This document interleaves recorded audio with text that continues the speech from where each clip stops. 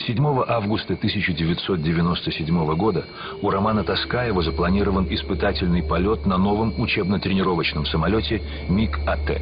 Ему надо оценить управляемость нового самолета с выпущенными закрылками.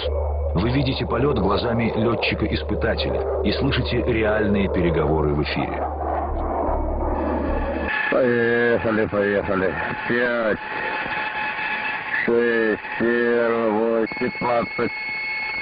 Колебания.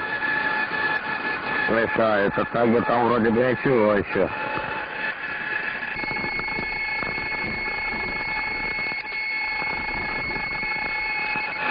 Вот. Нет резерва СДУ.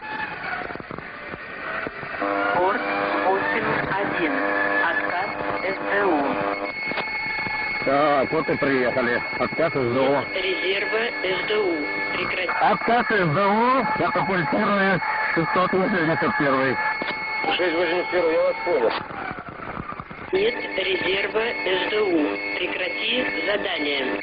Самолет э, переходит в режим штопора, неуправляемый такой процесс движения, то есть управления нет и сделать тут ничего невозможно. Я могу сойти с углов атаки. Сейчас попробую еще передернуть СДУ. Но уж больно что-то все плохо у меня. Что бы ни делал, результат будет, наверное, один. Э, Придется, наверное, катапультироваться. Но хотелось разобраться. За счет роста скорости я ласка угол атаки уменьшается. Больше ничего не могу придумать. Что-то застряло в каком-то положении, видать, там вроде высоты, что ли. Дальнейшие действия подскажете. Ну, наверное, буду где-то прыгать.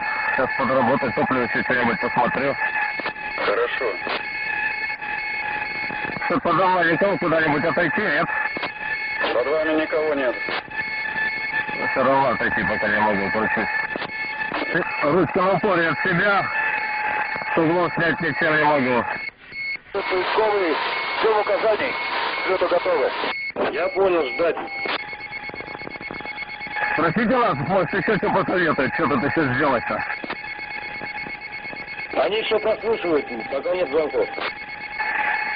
Пытаюсь набрать немножко высоты, потому что если войду в область, значит, не сделаю ничего. И бронис на 200. 681, попробуйте переключить КСУ. Да только я и занимаюсь, передергиваю, ничего не получается. Напряжение. Да, напряжение нормальное, чувствую-то. Понял.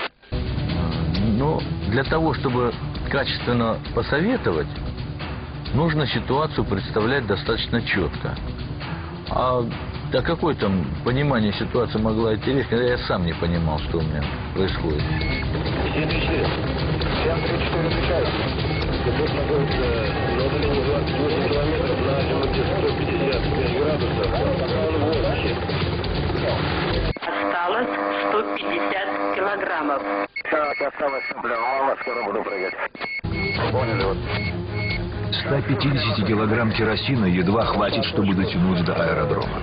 Но Таскаев принимает решение все-таки попытаться посадить практически неуправляемую машину. Я последний раз на пытаюсь.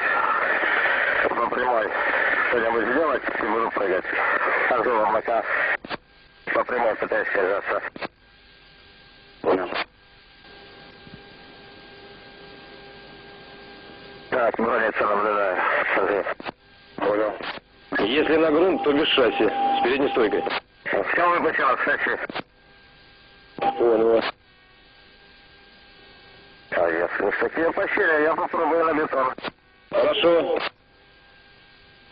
Все свободно, посадку разрешил.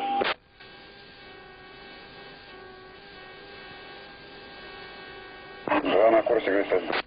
Вот в этом двигателе встали, вроде прицелился. По высоте самолет не управляется.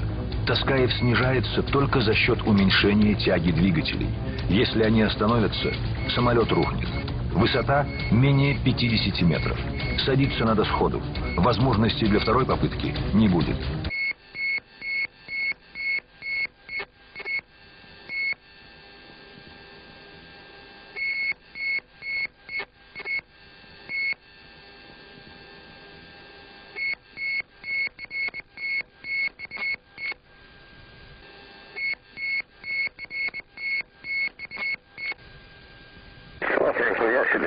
Умасился все-таки, а?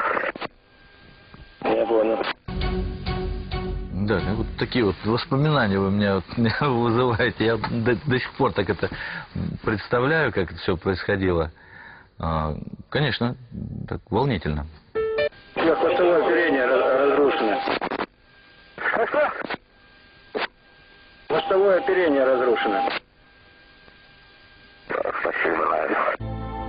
Ну, а в общем-то это как бы ну, работа, а, за которую ну, летчики испытатели взялись, ее надо выполнять, да и все.